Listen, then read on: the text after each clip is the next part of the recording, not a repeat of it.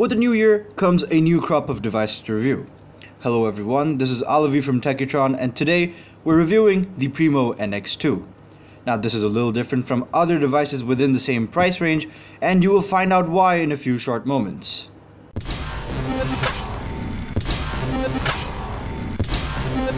Has a new sort of packaging for their new devices and in my opinion it is certainly a change for the better because I really personally did not like the previous packaging.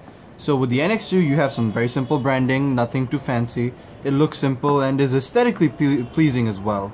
And here on the back you have some of the specifications. So to remove the contents of the box you just take this tab and you pull on it here and you simply just remove that right there and you have your device. Now as usual Walton puts their phone in a plastic wrap so that you don't get it messed up during transport. And let's remove this. There we go. And keep this to the side as well. They've gone for a soft material here which is backed by some plastic which is always a nice thing because it keeps your device protected. Here we have the warranty card as per with all Walton devices. And a quick start user manual comes in handy now here's where we see a different change Walton has made compartments within the box itself where you can keep the other things. So here we have the wall adapter and over here it looks like we have the micro USB cable and some toxic silica gel just to keep everything dry and smelling nice. Here in the other compartment you can see we have the earbuds for the headphones that are provided here. So you can just take a look at that. You have different sizes for different ear sizes and shapes, so that's always a good thing. And finally, we have the headphones here. These are the in-ear style, and they actually look a little bit fashionable, and I've tried them out myself. They're not that bad, they're pretty good.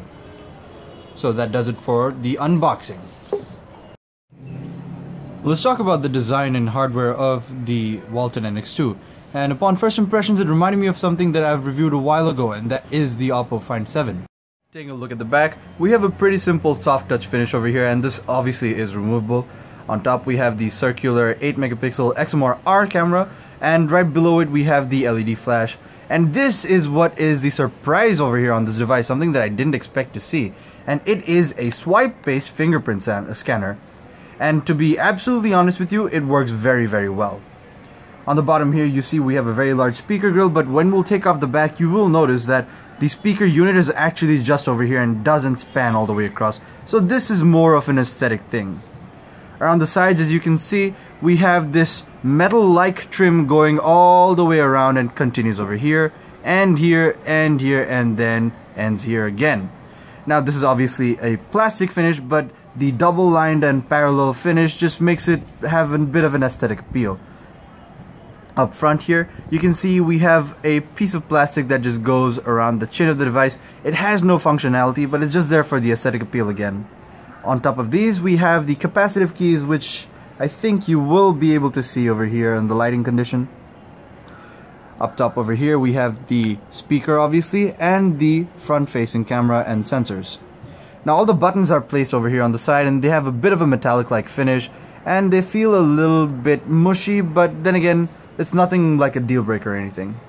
On top we have another surprise which is the IR blaster if you can see here.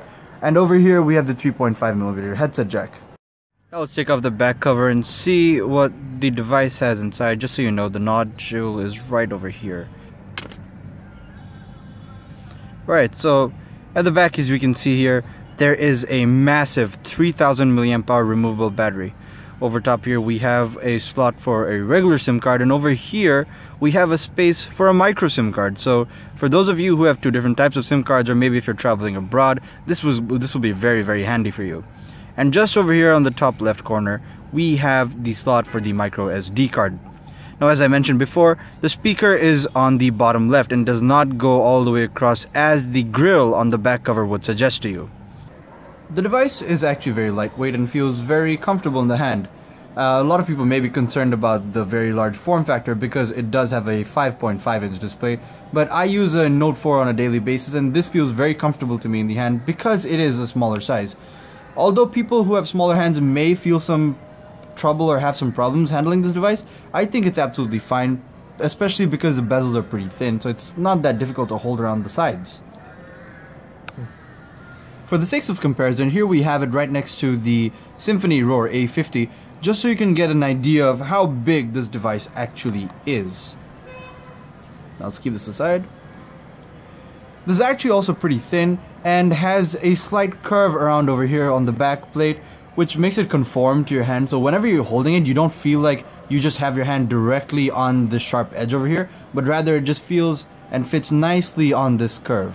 So that's always a good thing especially when we're trying to use this device one-handed and can't involve your second hand. Given the phablet-sized screen, people may wonder whether or not this device is a little too big, but given the small bezels along with the slim build of the phone, it's actually pretty easy to handle in one hand and fits inside your pocket pretty well too. Nx2 has a 5.5 inch HD IPS display, which means it is a 720p unit and has a pixel density of 267 pixels per inch. Now the display is protected by Corning Gorilla Glass 3, so even if you don't have a screen protector, you shouldn't really need to worry that much about it. Now the brightness it can go pretty high and pretty low, so it's decent enough to get the job done. And one thing we did note about the display is that it is very reflective, which makes viewing it and actually recording it outdoors a bit difficult, but it's not a deal breaker if you're using it every day. Nx2 has a 1.3 GHz quad-core processor along with a gigabyte of RAM and 8 gigabytes of built-in storage which is expandable to up to 32 gigabytes using a micro SD card slot. We also have a Mali 400 GPU on board that powers the display. Now we're going to take a look at a game which is Modern Combat 5 and is probably the most intense game available on the Play Store. So let's see how this device performs in this type of scenario. We also would like to mention that we're using a controller which is connected to the device using an OTG cable. Now the OTG cable is not provided in box, but if you do have something like this or any other peripheral such as a keyboard or maybe even a mouse, you can just hook it up with the OTG link.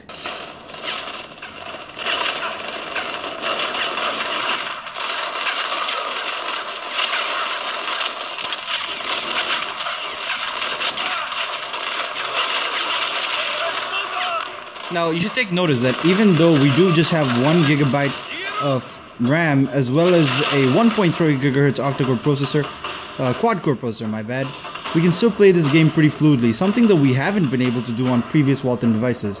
Now I suspect this may be because we have a 720p display instead of a 1080p display, but there is no guarantee. So here we're playing one of our, again, favorite games, which is Asphalt 8, and seeing how it performs on the NX2.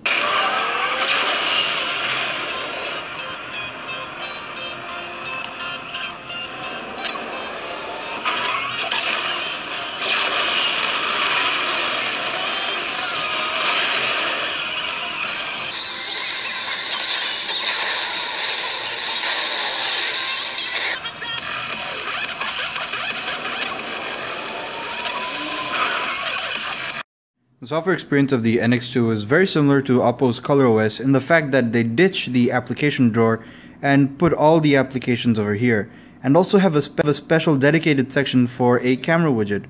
Over here you can just select this and take a picture directly from this tiny widget.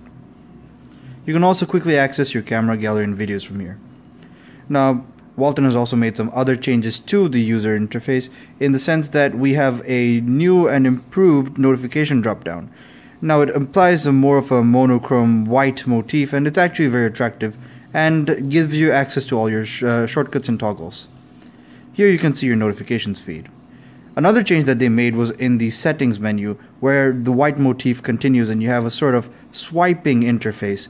But other than that, the functionality remains completely identical to stock Android. One of the differentiating features of the NX2 is its inclusion of a fingerprint scanner, something that is rarely or if not ever found in this price range. So as you can see, we have the fingerprint lock activated, and all you have to do is swipe down on this. And as long as you don't miss the sensor or swipe too fast, you ought to get the screen to activate. Another unique software addition is that of the floating window widget. Now if you don't know what that is, all you have to do is long press the back button and you'll have something like this pop up on the screen. Now you can circulate through this and if you want you can launch something such as the calculator right on top of any running applications. So let's just try this here and here we have it. So you can do calculations etc and get rid of this again. Now if you want to remove this all you have to do is press and hold the back button again and voila it's gone. Now, even if you don't want to continue doing that, you can just minimize this into a little toggle like this and just keep it to any edge of the screen. With the help of this floating toggle, you can do multiple things such as launch the music widget, which if you have any music here, you can play, or even launch, for example, a video widget, which will let you play your most recent video, which we have right here. Uh, now this enables for easy multitasking, especially if you're doing something. So suppose you're maybe going through an article and you just want to watch a particular video or maybe you need to do some calculations and in that sense it is really handy and useful. Another unique feature to this device is the gestures that you can find on the off screen. So if you can just double tap the screen, it'll cause it to wake with a subtle vibration. Now if you don't have any pattern or password lock enabled, you can swipe up and it will unlock the device. But since we have the fingerprint scanner enabled here, it's not going to work. As we mentioned before, the device comes with an IR blaster and along with this app called Zaza Remote, which lets you control IR capable devices. So here, we're going to try and turn on this air conditioner here using the remote application. So let's just point this at the AC and hopefully it will work. Oh, we heard a beep. And there we go. It works just fine. Let's move on into the camera. Now, Walton has employed an 8 megapixel Exmor sensor which performs really good in good daylight, but it's a little lacking when it comes to low light situations. Now as you can see here, the camera interface itself is again renewed and refreshed by Walton and follows the same white and simplistic motif.